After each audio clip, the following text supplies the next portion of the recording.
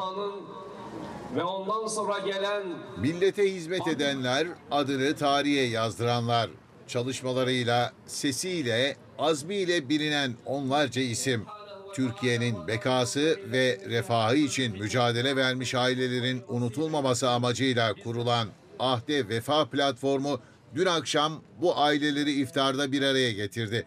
Kıymetli milletvekillerimiz, sayın kaymakamımız, İftara şehit savcı Mehmet Selim Kiraz'ın anne babası, 2. Abdülhamit'in torunu Abdülhamit Kayıhanoğlu, sanatçı Müslüm Gürses'in eşi Muhterem Nur, devlet sanatçısı Huri Sapan, Dünya Kur'an okuma birincisi Hafız Ali Karayla, siyasiler ve çok sayıda davetli katıldı. İftar sofrasına biz de davet etmek lütfunda bulundukları için sağ olsunlar kendilerine teşekkür ediyorum. Savcı Kiraz'ın babası Hakkı Kiraz, kendilerini unutmayan Ahde Vefa platformuna teşekkür etti. O kadar ahde vefaya sadıklar ki ismiyle müsemmadırlar yaşıyorlar. Çok çok teşekkür ediyorum.